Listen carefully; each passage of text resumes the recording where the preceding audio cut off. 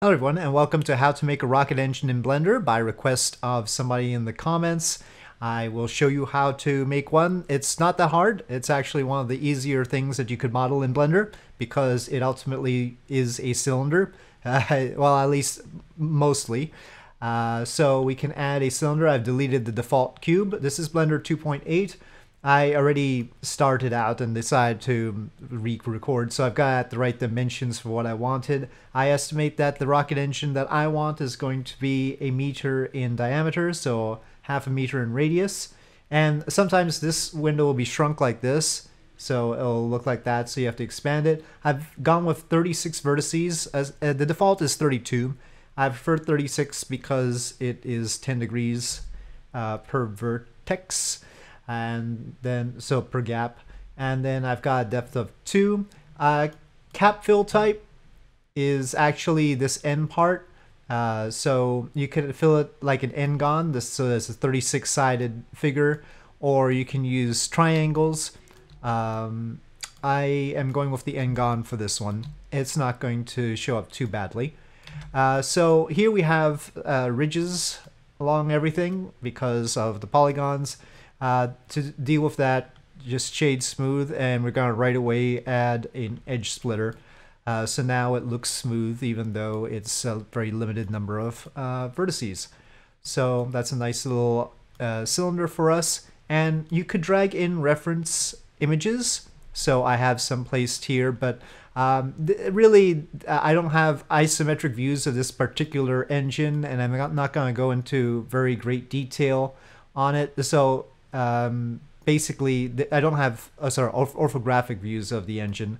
This one is pretty close, but I'm just uh, throwing them in just for you to be able to see what the engine looks like. That's what we're going for. I'll be looking at an example of it elsewhere, so I'm going to have my reference images separate, not inside the thing. But you could put it, uh, so pressing keypad uh, or number pad 5 gets you into orthographic view and then pressing numpad 1 uh, gets you in the front view. You can see front orthographic. And the blue axis is up down, so keep that in mind. So that's up down. And then uh, numpad 3 is the right view, and numpad 7 is the top view. If you want to go to the bottom view or any of the reverse views, you press 9. So here's the bottom view. And if I press 9 again, it'll go to the top view or if I start in the front view, pressing uh, keypad 9 will get into the back view.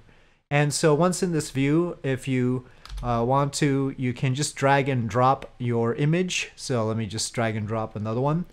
And uh, you could size it properly if you want. So we can just size it there and then move it to where it needs to be, for instance. This is just an example. Again, I'm not going to use it like this. And then you could use that as a backdrop for modeling. You'd probably want to push it to the back there. Once in orthographic view, it doesn't matter if you push it further back. It's not, there's no perspective, so it'll work out just fine. So you can have your reference images like that, and you could put uh, front view, side view, and top view if you have them. It depends on whether you have them for your model. But I'm not going to bother with having those there because those aren't in orthographic view anyway. Um, if you go to blueprints.net and you're modeling, I don't think you're going to get a rocket engine there, but if you're modeling something else, you might have a chance of finding something with a triple view and you could split it apart in an image editing, editing program and then put them in. So anyway, the first thing I'm going to do is I'm going to delete this uh, n-gon here this is the bottom of the of the engine. So I've I, I pressed um, three to go. Okay, tab to change from object mode to edit mode. Uh, three to go into face select mode. So one is vertex mode. So then you can pick up the ver uh, vertex. Two is edge mode, so you can pick an edge, a two-dimensional thing.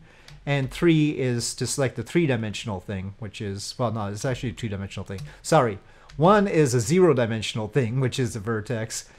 Two is a one-dimensional thing, which is an edge. And then three is a two-dimensional thing, which is a face. There we go. Okay, so we still have one of those up there, but now we're sort of empty. And the important thing to note about uh, modeling these things is we have normals And so the right now the faces are only going to appear when you're looking at them from this side, the direction that these normals are pointed. So again, you can go up here and see which direction the normals are pointing because you'll only see that face from that side. In here, we don't see the normals. That means it's going to be invisible on this side. Now that's going to be a problem. If you look in the engine, it's going to be suddenly invisible.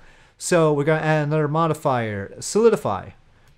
Okay, and solidify, you're going to decide what thickness you want for the engine. I'm just going to keep it to one centimeter and uh, that should be visible enough. And I'm going to move it above the edge split so that the cylinder will look proper. And then if we apply this, I'm going to unapply it soon, but let's say we, um, first of all, to get uh, to apply it, we have to get into object mode. So press tab again. And then if we apply, and then we uh, tab again, now we see that we have normals on the inside as well, and also right on the edge here too. So now it's going to have, it's going to be visible both on the inside and on the outside. Now, you might not want some parts to be visible on the inside because that's going to be extra polygons.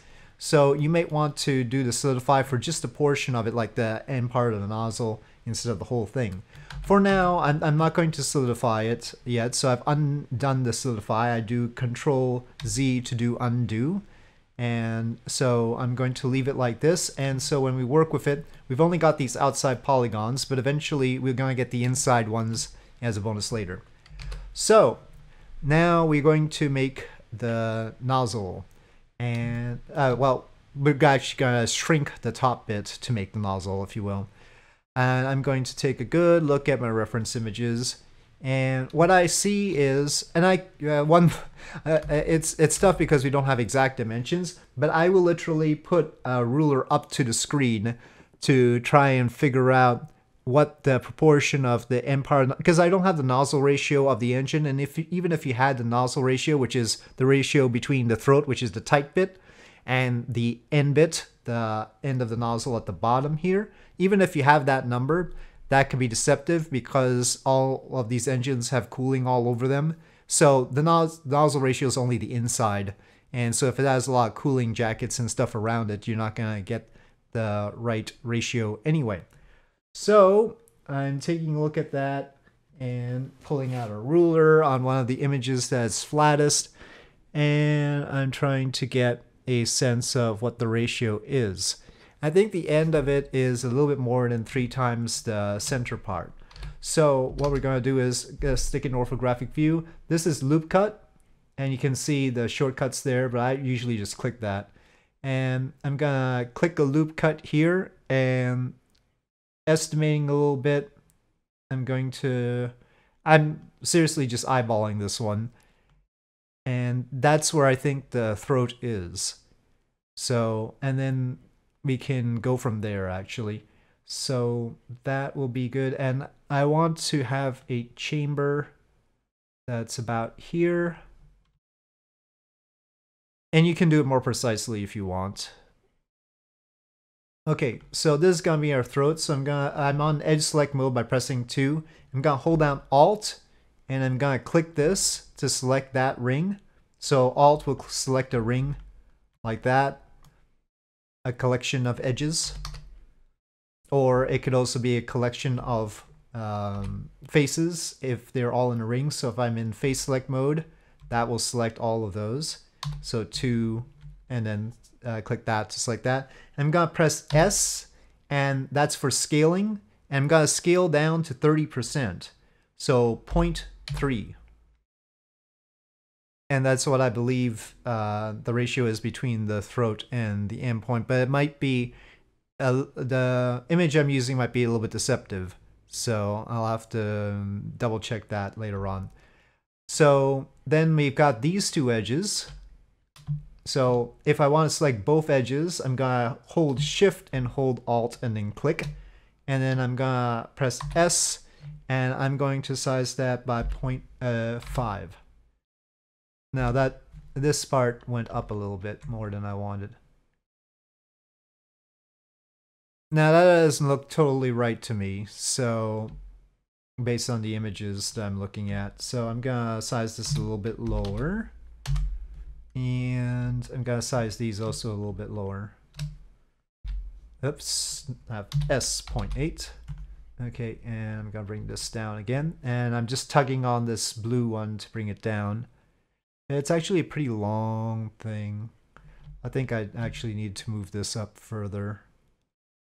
Okay, so we've got this sort of deal. And then I'm going to add another loop cut here. And I'm going to press S and just pull on it to size it out. Press S, uh, sorry, loop cut and press S to pull on it. Press S. Uh, trying to get the slope that they have on the real engine right. And then anytime we can go ahead and alt click and adjust.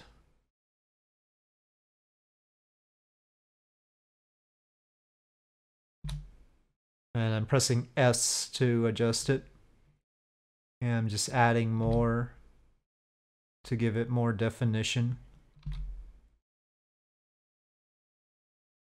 And adjusting those. I'll add one here too. Now this uh, this uh, throat is actually pretty supposed to be pretty smooth, so we we want a few more cuts right here. Uh, I don't like how that's going.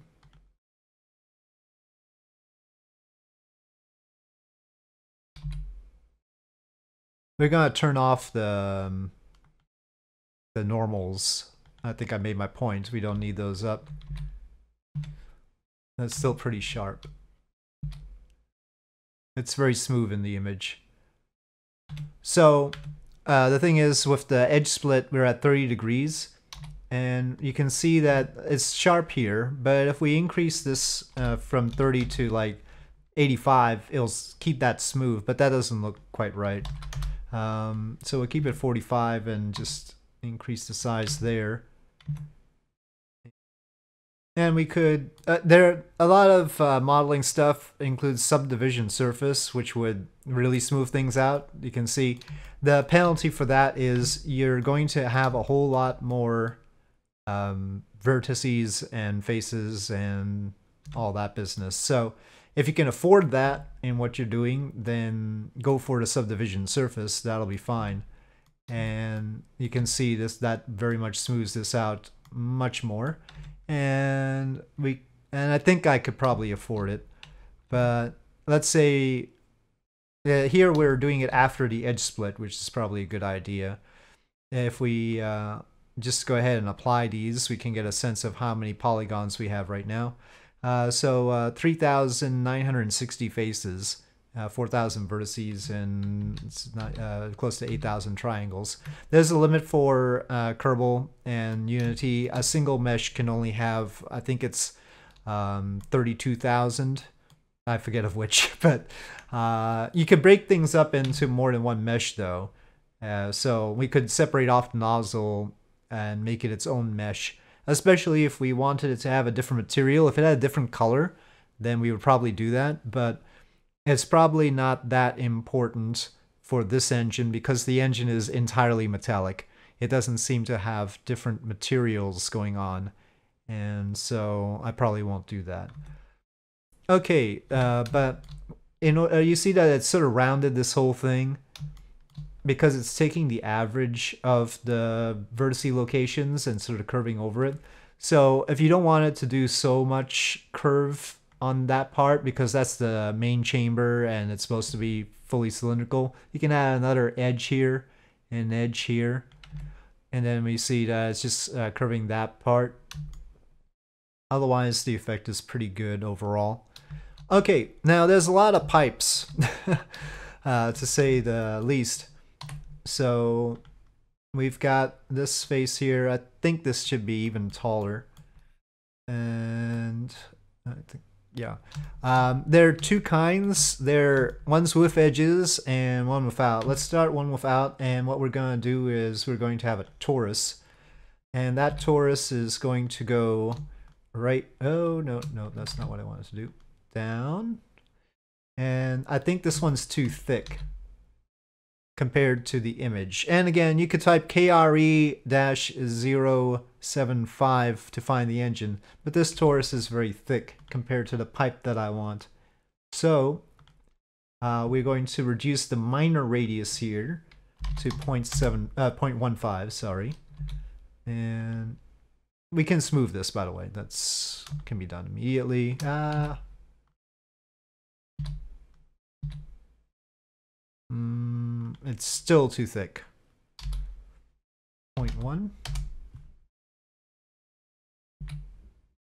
So especially around the nozzle, you'll see these kinds. And then sometimes around the throat, you'll see them. And there'll be a pipe going to it. But then there's also uh, braces and tubes around the chamber. And what we want to do is, I'm just going to extrude them. So there seems to be one that's actually down here-ish. And this is going to be the toughest one because it's at, uh, there's a sort of slope there. And I don't want to select this uh, circle. I want to select this one, you see? So I just click this edge. If I wanted to select this one, I'd select this edge. So I'm holding down Alt to select the, the circle. But depending on which edge you click closer to, it'll select that one. Pressing E for extrude, but then immediately left clicking to confirm that I'm extruding but I didn't want to actually pull it out yet. And then pressing S to actually resize. So now it's bigger. But I want to select the top edge. So pressing 2 to switch modes from the face to edge. And we are going to press S to scale down. and uh, so we have we have a little ring there. So there there are always these little rings around the engines like this. There's another one, and there are easier ways of doing this. Oh, there are harder ways of doing this too. There's uh, one here, and then there's two more closer to the top of the chamber. So there's one here-ish you can be picky and uh, make sure that your rings are the same width. I'm doing it very simply. So here we have a set of three and we can do these three all at once. Press 3 to select face select mode, Alt, holding down Alt, and then clicking on this to get that loop. And then holding down Shift to select another loop. Hold on, uh, it just, another program decided to do that. Shift, Alt, click, Shift, Alt, click, and then we've selected all three. And then press E. Again, left click to confirm the extruding, but don't extrude it yet. And then press S to pull it out. Now this doesn't work very well here because it's sort of it's sort of averaged uh, between. Uh, see, uh, a loop that happened to be right in the middle would have ended up right, but this one has ended up tilting up, and this one has ended tilting down. So there's a whole pivot point discussion that uh, where the heck am I? Ah, here, uh, individual origins. Hold on, let's see. Uh, that might help. Yeah. Okay. So yeah, individual origins seems to do the trick. I want them a little bit smaller. And so instead of uh, what it was at was median point, and so it's taking the median point of all three rings, uh, and that's why the upper one got tilted up and the lower one got tilted down. Um, the individual origins allows you to do it so that they're all relative to their individual faces. Okay, so now we have some extra rings. And this is what the engine looks like right now. We could make those more prominent uh, depends. Now, looking at the images of pretty much any engine, you're going to have this mess of tubing, and it's up to you how many tubes you want to add, but uh, certainly you want to get the main uh, turbine gas generator and the gas generator exhaust and uh, that whole bit. But and that's usually off to the side. It's some it's close to the diameter of the chamber. It might be a little bit less. And we're going to go ahead and add a new mesh cylinder. And uh, just S to scale it. And but it'll be very hard to see the details of it because it's going to be a god-awful mess unless you're really lucky. And there are ways of making tubes. Okay, I guess I guess we're going to go into the talk about how to make tubes because there's going to be tubes between this uh, tentative uh, gas generator and also the chamber. So what we're going to do is uh, there's the way that I do it and there's the way you can do it. The way I do it is using a plugin that I paid for. Uh, and that simplifies things. But I'll show you what the plugin actually does because anything that a plugin can do uh, Blender can do natively already. And so we've got these Bezier curves. And a Bezier curve is a curve that you can manipulate. So it's just a one-dimensional thing. Press tab and then you've got these handles. And so this is the location of one of the edges. And so let's say we want a pipe going from here. Uh, and then this one is the other end. So let's just make it let, us say it's going to uh, there, all right. And actually, let's have an intermediate point. So let's say it's, yeah, we're gonna have the pipe go out, come here, and then we want the pipe to go in again. So it'll be sort of flattish over here. And then we want another point to control it, and we want it all in line. And then we want E to extrude, which will create a new control point, and we'll put that there. Okay, but now it's going in this really weird circle. That's not good. So that's what the other two handle points are. So while after we selected the first one,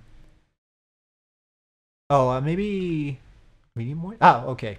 Sorry. Uh, individual individual origins is not helpful in this case. Okay, so we're gonna pull this over here and maybe move it in a little bit you're gonna have to practice with these and we're gonna sort of bring this in oops and pull this side there. Okay and then this point we're going to need to worry about its handlebars. So pull that in pull that in. So this is how you control the curve. Moving these around. And I think I want to move that out a little bit more. And then this this one also we need to move this. Oops. Click that click that move in.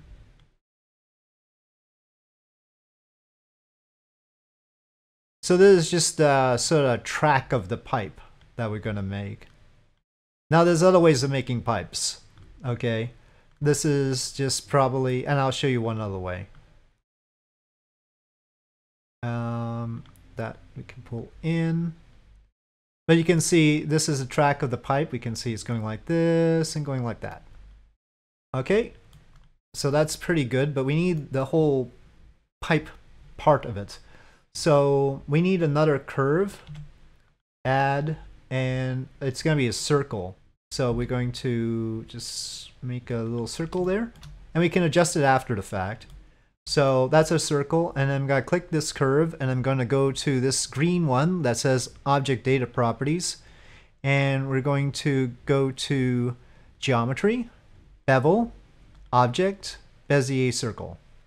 And voila, that becomes the diameter of the pipe. And we can see that there's a little bit of a problem, but first let's resize our diameter and we do that by clicking with that circle still and pressing S and scaling down. Okay, and then over here we can still manipulate our pipe, uh, pipe by pressing tab and we can uh, sort of move that, but that's probably not a big problem. We could get it in there. And then move that and it looks like it's sort of slanted so we want to pull this around like that. And you're gonna have to fill around with it. This isn't where our pipe really is right now. I'm just using this as a demonstration. So but you get the idea. There you have made a pipe and the pipe is good. Uh, well, I don't quite like this bit, so we pull that out, make it a little bit more of a handlebar thing. Okay, and then after you've got it the way you want it, make sure you do have it the way you want it, you go Object, Convert to Mesh. And then now it is a mesh. And oftentimes I'll also set origin to the center of mass so that its origin is close to itself. And then when we press tab, we see that we've got all these uh, faces. And it's a good number of faces. Though this isn't quite meeting up with that, but we can still fix that. Press 2, holding down Alt, select the ring. It's an open end. Okay, I'll make an open end. And so there we have our mesh and we can make another one. We can keep that curve and create a whole bunch of pipes like this. Uh, but so I have a plugin called Fluent that if I press F uh, has plate, pipe, wire. The pipe doesn't always work great. The wire sort of works wonderful. So place the first point, click here, and place the last point, click there, and then suddenly I have a wire. and so, uh, and then uh, the fly menu, uh, root strength, you can see I can shift like that. Uh, it doesn't, uh, you remember how we created the intermediate point? It only has two control points, whereas this pipe has three, so it has a little bit of a benefit. Uh, you can easily change the curve resolution. Right now it's got 64 segments. that's too many. I would like 24 usually. And uh, we can add a ring. Oop, there's, there's a ring. And then we can uh, uh, probably change the length is misspelled, but thickness. So see, we can add a little ring there. And all this is doing is it's a little, I, I don't want to say macro, but it's some way of um, speeding up the process of all the things that you could do anyway. And so we could go back to curve and then the curve uh, coil. Oh, that doesn't work very well. Um, let's see, radius. Uh, you can see what it's sort of tried to do. It's like one of those telephone wires. Uh, curve resolution. Um, I don't. I obviously don't use this much. Uh, this one. This. Uh, yeah. I don't. I don't think that's done anything good. Okay. Control Z to undo. So you get the picture there, but it's only. It's just meant to make things work a little bit faster.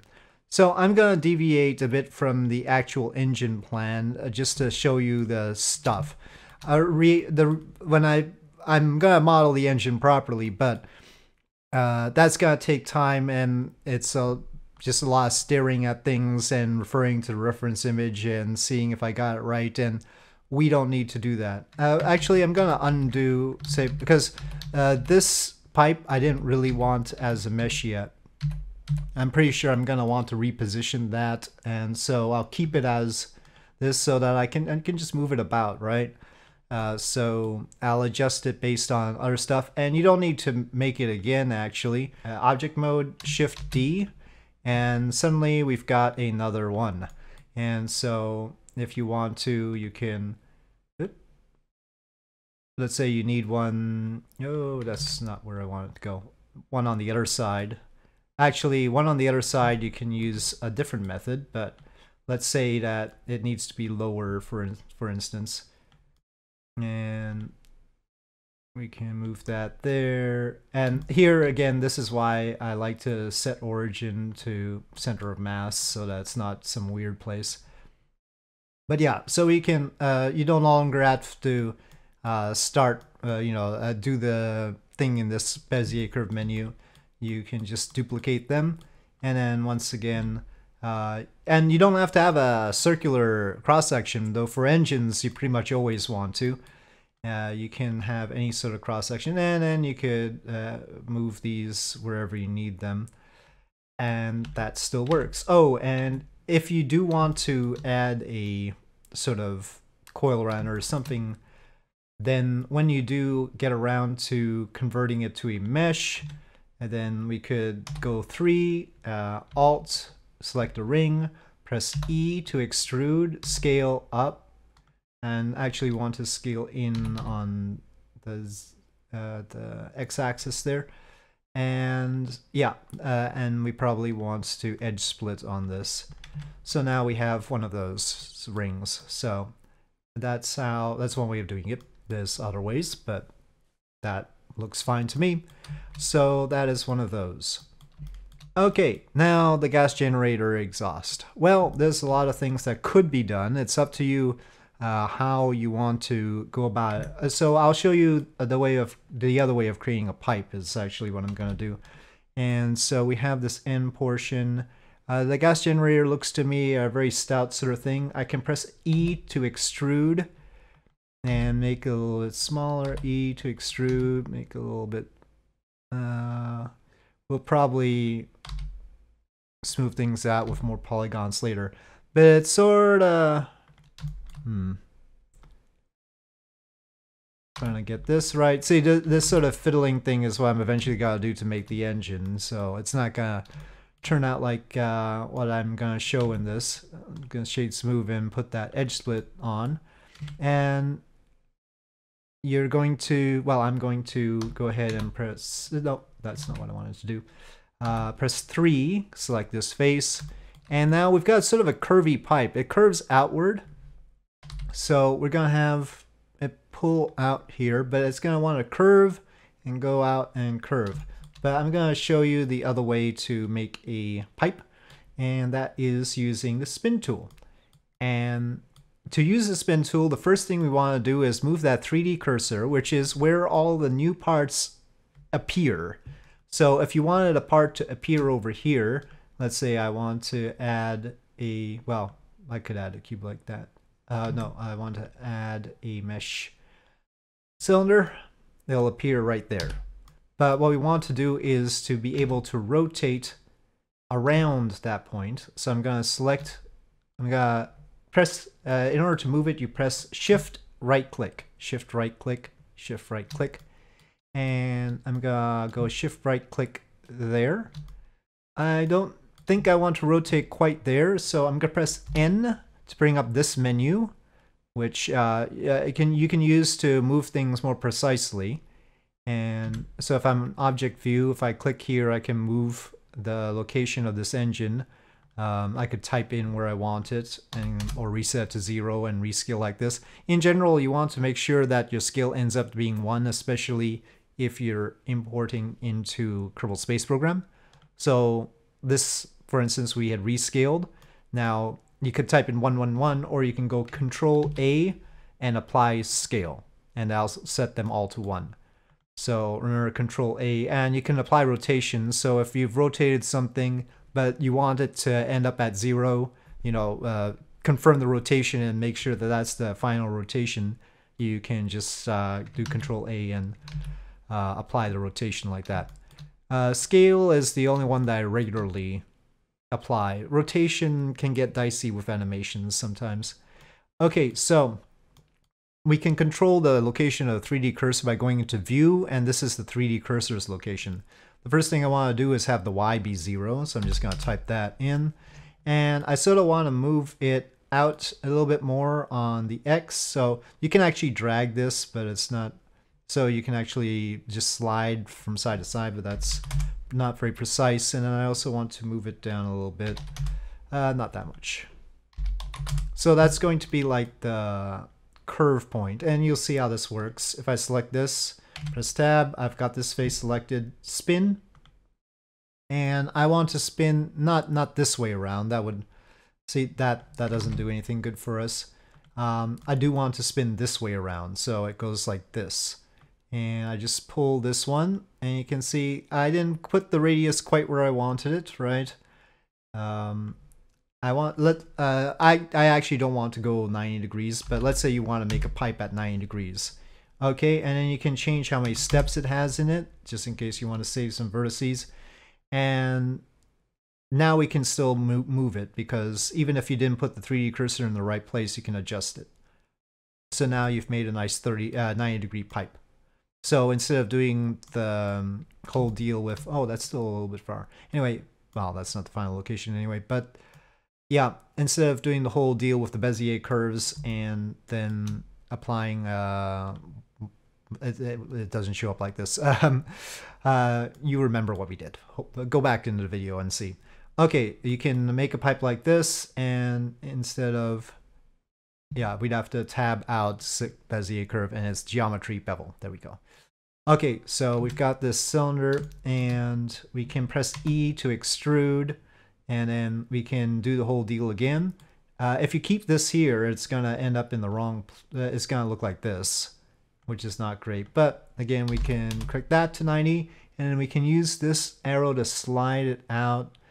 But now, because we haven't put the 3D cursor well, it's a little bit ickier. And so if it, you may not want it there, right? But that's way number two. But I don't want it like that. To be honest, this, uh, uh, again, I'm gonna have to do some shaping on the engine separately. But this basically covers what you need to do to make an engine. Um, and again, if you want the gas generator exhaust to end up uh, being uh, open, open-ended. So I'm actually going to simplify matters. You can just rotate, this is the rotate tool. If you only need to go by a few degrees, and that's what I need.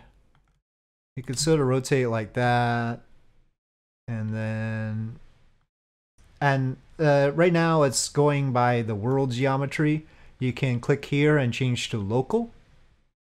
Uh, that did not work very well, so I'm gonna go and switch to normal, and then this is the way I want to pull it out, because I don't want to pull it out with the world geometry, and I could slide it a little bit here, and I could select a ring, press 2, select this ring, and if I wanted to move it down and move it along, and so forth, and then Still working with this, extrude a little bit. Again, this is trying to mimic the engine, which does have this sort of curved pipe. E to extrude, rotate. E to extrude, rotate. And uh, E to extrude, and an S to size in. E to extrude, and an S to size in. But yeah, if we wanted now this uh, gas generator exhaust to have a solid bit, there's another way except for using the solidify. I can press I to inset and then E to just go in. I'm extruding in, so I've sort of made a, see there's a pipe here, and I'm gonna put that pipe inside. I'm not gonna put it all the way. So it'll end there and make sure it's not poking out the mesh. The benefit of this over Solidify is it's fewer polygons, right? It's just uh, that ring there. Whereas Solidify will literally create uh, polygons all over the inside. So it's basically the same number of polygons as you have outside will be created inside. So that's a lot more polygons than just I for inset to create the lip and then E to extrude and you can extrude inside to create the interior and as long as you do that properly you're going to get the normals that you need so that that's visible from the inside. So I'm trying to think if there's any basic technique that we need that you could use to make an engine but I think the next major thing to talk about is just texturing and uh, the sad truth is uh, I'm not good at it and thankfully I've got Substance Painter to make it easier for me. so uh, the basics are that this is your texture layer and if you really wanted to just not bother about anything in the world at all, you would select all your parts. So I've done control selecting the actual parts here. I haven't committed the Bezier curves yet. Uh, so uh, just the mesh objects, which are symbolized by these triangles. Actually, this one I did commit apparently. Uh, so we can select that. And if you press tab, you it'll actually let you edit all of them. So here, uh, before, if we select just one and we press tab, it only show you shows you the the faces for that one part. But if you control select them and then press tab, it'll show you the faces for all the parts. And so you can edit them all at the same time. And press A Right now you can see it's unwrapped. The texture is unwrapped in a sort of haphazard way. Uh, you can press U to unwrap the textures uh, so that you can eventually paint on them. And there's an unwrap, there's smart UV unwrap, there's a cylinder projection. That doesn't do anything. I, I prefer smart UV project, uh, though, um, yeah, the, the, there's a complicated sort of story here. Now, you shouldn't, strict, uh, strictly speaking, you want to actually create um, seams so that you can figure out exactly how it's going to unwrap. Basically what we've got here right now is the nozzle is getting broken up into four different pieces so that if you try to put a texture on it, it's going to end up having four different seams. So instead of letting it do that, what you can do is, and we're going to just select uh, that edge first, and we can go edge, um, mark seam, and tell it that that edge is a seam. I can, uh, since this interior edge, that line there is going to be facing the gas generator exhaust, some of it will be covered up. So it might be the least conspicuous seam if we need a seam there. So I got edge, uh, mark seam, and then of course uh, this edge will be fine. Edge mark seam, and so forth. You can manually tell it where the seams might be so that it's not going to create edges in places that are too visible so that when you make your your texture it's not gonna be too bad so let's say I select them all now press use smart UV project and let's see what happens oh no it's kept, kept doing the same thing uh, you unwrap well um, that's a little bit better. You can see it tried to make the nozzle into one piece there. It ended up with a bit of it over here, I think. Or that might be this bit here. Uh, let me see. I think that's 36. That might be the nozzle altogether. I think it really unwrapped it. But it's got this these overlapping bits. So UV, average island scale, and then, uh, hold on, A to select everything. Pack islands. Ah, that's better. Well, the problem is we've got these circle bits that mm, I don't think we want separate. Uh, it's taking up too much space. Uh, so the nozzle is the big thing with the chamber, and that's what this is. And all this other stuff are little bits, right? So select one of the points on the nozzle, press L to select that island. These are all little islands and we can press S to scale it just like we do in the regular stuff and G. And we could sort of have it take up more of the space. And you can manually move all these stuff. So I select the point here press L G. Uh, I'll move that over there. Just try and make them not overlap. So you can arrange them like that. Uh, but if you look at tutorials for how to do texturing the the seams and the arrangement of the texture take up a lot of the time so I just I'm lazy. Mm, link. Oh, you, you just have to hover over it to select those. So I'll just size it. That seems like it's a tiny little thing. Um, so linked, and uh, let's just G to move it, S to size it. For something that you might want to produce multiple textures for, getting the texture file right so that you can easily add other details might be helpful. You can also sort of create a texture map uh, and you can do that by using this texture paint. So you see it sort of made this purple um, and that's that bit there. But if, if you wanted to paint directly on the model, you can, oh, is that happening? Missing materials textures detected. Oh, we need to uh, go to materials and create a new material. Okay, now we've created a new material. Is it? I haven't done it this way before, so maybe I shouldn't talk about that way. Let me go to base color, image texture, open. So BE7 engine, let's go with the texture file for that. Okay, so this is the texture file for the BE7 engine. And so what I'd do is I'd uh, just get the little components in the part. And this is what I used to do. Now, now I've got fancier stuff with Substance Painter, but that's expensive. So this is this sort of streaky thing is a metallic texture. Once you've got textures unlimited in there, you can make it shine like a metal texture. You might want it darker otherwise. Uh, just to, uh, I'll just move some of this stuff over. Mm, so let's get that and we'll see how it looks. And I'll just put all of them in this texture area so that we get a sense of what's going on here. Or we could like leave some in a different area, but it doesn't really matter in this uh, doing it this way whether it's overlapping unless again you're going to want to go in and retexture it a whole lot. So another thing you can do is uh, box select, B to box select. And so I can just select all of these and press G and move them. Oops, I accidentally selected that. Shift and L will unselect that. Alt A will unselect everything. B to box select. G to move. Okay, so now they're all squished in here and are really awkward and never do this away. But let's say you wanted to see what this looks like. Press this one, and you can see it's sort of streaky. The seam is where we thought it would be, right on the inside.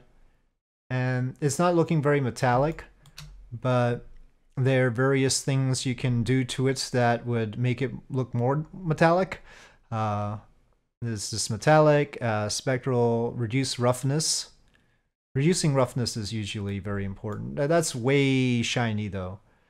So I could do like that.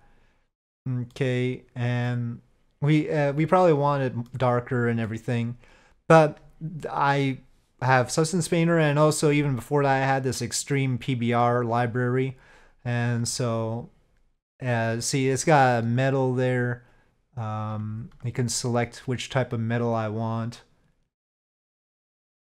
So like that, and I just say that I want to add new and that adds a new thing here. And now that's what that looks like. Still has the seam in the same place because the seam is determined by how you unwrap the texture in the first place. But you can see that's that metal texture. And maybe we don't want that. And so these are the fancy features that uh, save you a whole heck of a lot of time uh, if you decide to get serious about this sort of thing. So yeah, that's texturing.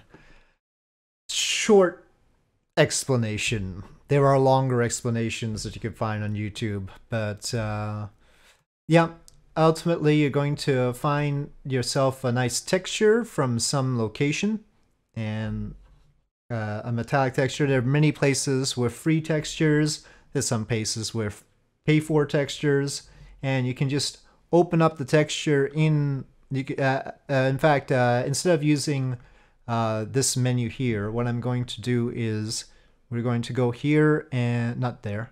Uh, in the material, I'm going to delete this material. Oh, oh, edit mode. Sorry. Uh, remove that material. new material. There we go. and we go here, click here, image texture, and I'll find one of those extreme PBR metallic textures. It said 14. So in my folder, let's say I, let's say I downloaded a texture like that. And I'm going to find it. Sorry, I, I'm not capturing the file explorer for Blender right now. So, yep, let's say I found some nice metallic texture that I want to use. Uh, let's go with 17. Let's see how it looks. And a lot of these will come with a whole bunch of things, diffuse, displace, metal, normal, roughness. Um, the ones that you're going to end up using in Blender if you're importing to Kerbal Space Program are going to be diffuse and normal um, because uh, Kerbal Space Program only takes those two. And then if you want to add a metallic thing and adjust roughness, you should use Textures Unlimited, and that's a whole other configuration. But anyway, I'm going to open up the diffuse texture and I'm going to select the diffuse texture that I just imported into here and it's this sort of copperish texture and so I've just imported it there. It's not showing up here but if I click this well now it's that that look.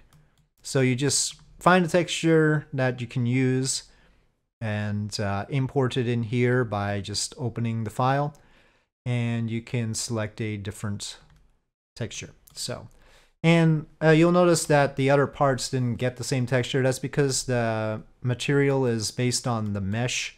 And so here, uh, we would select the same material to make that that one.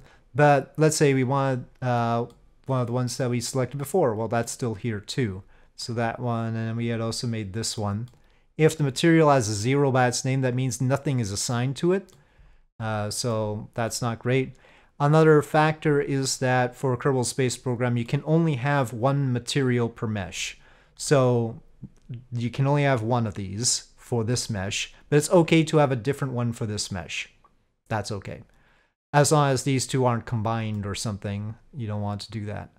So, and then the torus could have a different material and that's okay too. Okay, uh, that doesn't look like a very good engine right now, but I think I covered all the details that I wanted to cover. Oh, uh, if you are importing into Kerbal Space Program, you'll want a collider. Um, that should be centered with the engine. So let's put that on zero, zero.